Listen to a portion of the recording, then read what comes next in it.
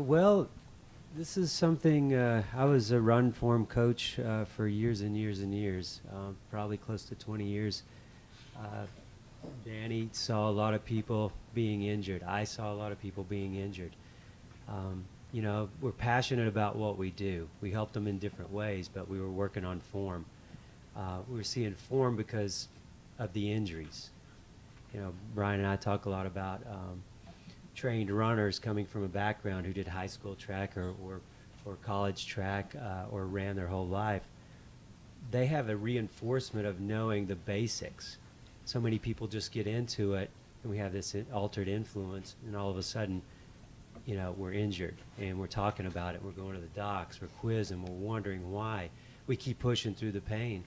Uh, it, it, this is not going to go away. You know, we, with the passion that what we had, have you guys, did you guys see much of natural running or barefoot running before three years ago?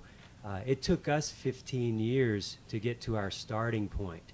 We never gave up because we knew it was the right thing to do. And like I said last night, Jerry and I looked at each other and we said, okay, we built this shoe. It has high communication. It allows you to run on an unnatural surface with protection, but if you tap into it, you'll run with the barefoot style. And so Newton is the first company in the world uh, with footwear, as far as I know.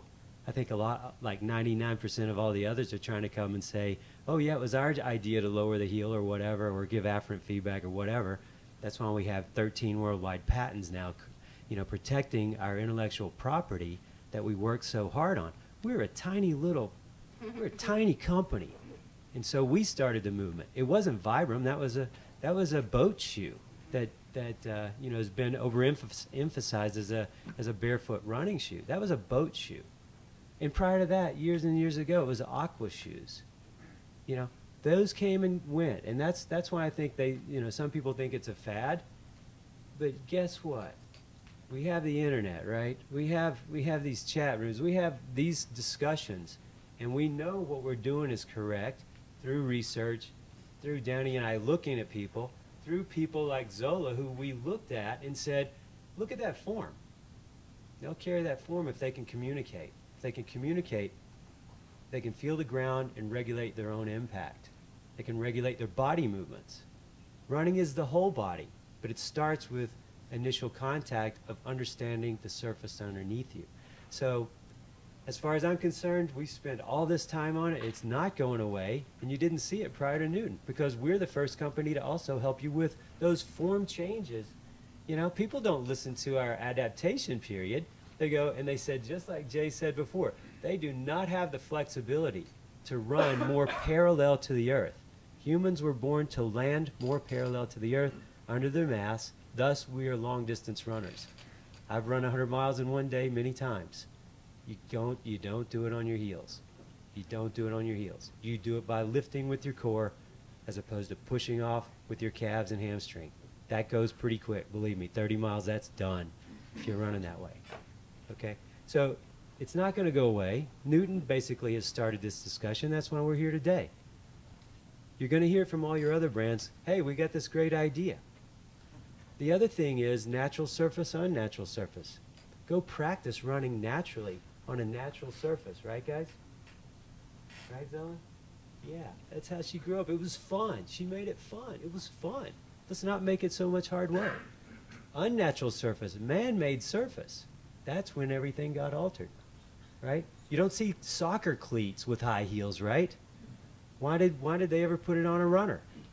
We run, they run it's altered. Everybody, you know, we have this information society. It's not going to go away. Definitely from Newton's side. Sorry. So I had a bigger uh, challenge than you guys do trying to get through to your customers. Is my mother-in-law. Um, you know, she, she tries to buy, buy shoes weekly for my kid, and I had to set down a very rigid policy that any shoe was more rigid than this rubber band right here was basically getting thrown in the garbage can. And she tested me, and I threw, I took pictures of myself pitching shoes in the garbage can, um, which she loved, by the way.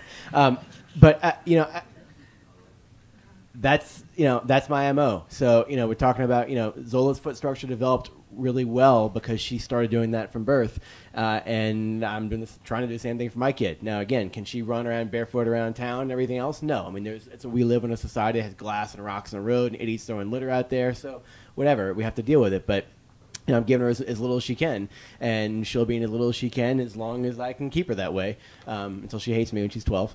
But uh, you know. Um, I, I think that you know we like like Irene said. I think it's making inroads now in younger folks and putting them on a right track, and those where we're starting. And I think that you know convince the parents this is why we're doing this. Convince yourselves this is why we're doing this. There is a reason to do it. Is it a fad? No, I don't think it's a fad. I think that there there's some objective data out there that shows things are moving in a different direction. Do we have all the answers? No, we don't. Are we learning a lot still? Sure, we are. Are there more studies to be done? Yes. But I think there is a, there's some good knowledge base to build upon right now and show there is some proof to the pudding and, and trying to figure out you know some of these unanswered questions. But but that's I think this is a direction which which we should ethically as well as from a business standpoint move things in. I would say it's not only in the shoes, but also we're trying to get simpler and simpler and more clear in how we teach people how to run differently. So that's ongoing. I'm still learning how to teach people in a better way. I'm always learning a simpler way. I'll hear a word that Danny uses, and I'll go, God, I got to get that, you know. You and so, so we're always working at trying to make it more simple, and that'll help you guys be able to transfer this over to your clients. So it's been a lot of information here, a lot of good thoughts and everything, but I'm sure you guys have questions. So uh, we'll spend the next 20 minutes with uh, firing questions here, and then I think these guys will be here a little bit after that. But um, so who's first?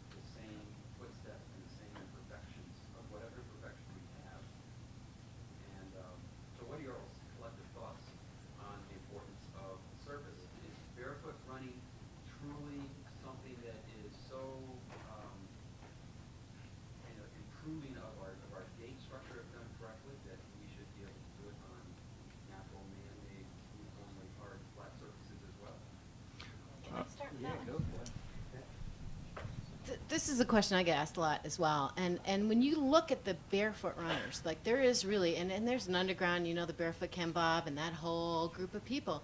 Um, and I've, I've talked to many of them. Most of them run on hard surfaces. They do. They run on the roads. I mean, the, road, the barefoot running races are on the roads. There's a barefoot running society now that's developed with state chapters, and I've been to some of their meetings. It, and I'm not saying they run exclusively on the roads, but they run on the roads. Um, and what I was saying to you is, I think you can safely run on the roads, but you have to make your leg spring even softer. So it's a little bit more work when you're running on a harder surface.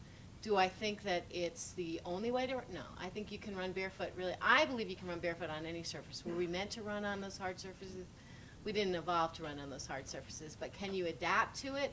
I've seen plenty of people do it without injury. I just think you have to be probably even more careful in how you bring your, your, your mileage up on those harder surfaces because you have to work harder. That's, I run exclusively on hard surfaces barefoot, and I haven't been injured. But I, I do think that there's a caveat to that. You have to take it very slow, and you have to listen to your body. Yeah, I would just echo what I, Irene was saying is it's an adaptation and a learning process. If you look at even cultures around the world that are truly barefoot, developing parts of the world, there are a lot of them that are basically stone and they're running around barefoot, but they've lived that way. Um, I think once you really learn that, you know, what Danny Abshire is talking about, just that afferent feedback, you know, when your foot feels the ground, and that's a learning process. You know, if you've shut that off for years, it takes a while to develop that back. You know, you're actually, you can run on these sharp, rocky trails, eh, but you, you know what's happening even before your foot hits the ground. You know, that's not day one, that's after you've worked on things a while. So there's a lot of hard, you know surfaces you'd be like, there's no way you're going to run in this piece of Kevlar or a five finger or barefoot. That's going to hurt.